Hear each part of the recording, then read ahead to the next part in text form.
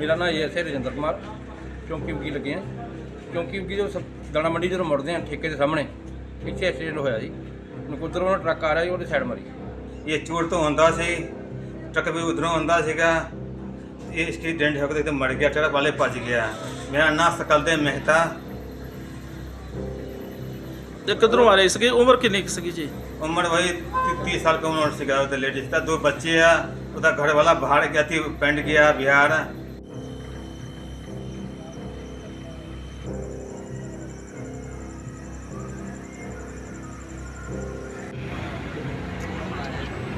सब यहाँ यहाँ अड्डा पहुँच पड़ा अड्डा अड्डा भी आना तो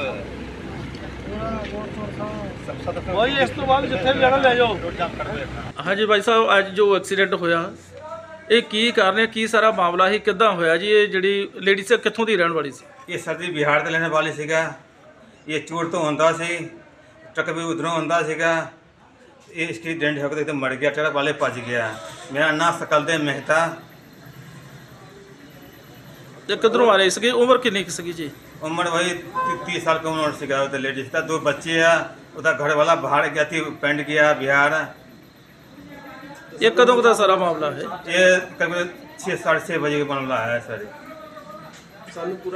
ਤੇ ਇਹ ਕੀ ਕਾਰਨ ਕੀ ਹੋਇਆ सानू ਜੀ बड़ा हिंसा मिलना चाहिए था ਔਰ ਪੁਲਿਸ ਪ੍ਰਸ਼ਾਸਨ ਤੋਂ ਕੀ ਮੰਗ ਕਰਦੇ ਆ पर प्रशासन ये मांग मांग करते थे इंसाफ मिलना चाहिए कौन पालेंगे नहीं पालेंगे उधर दो बच्चे है नहीं आने छोटे छोटे है कौन पालेंगे उन्हें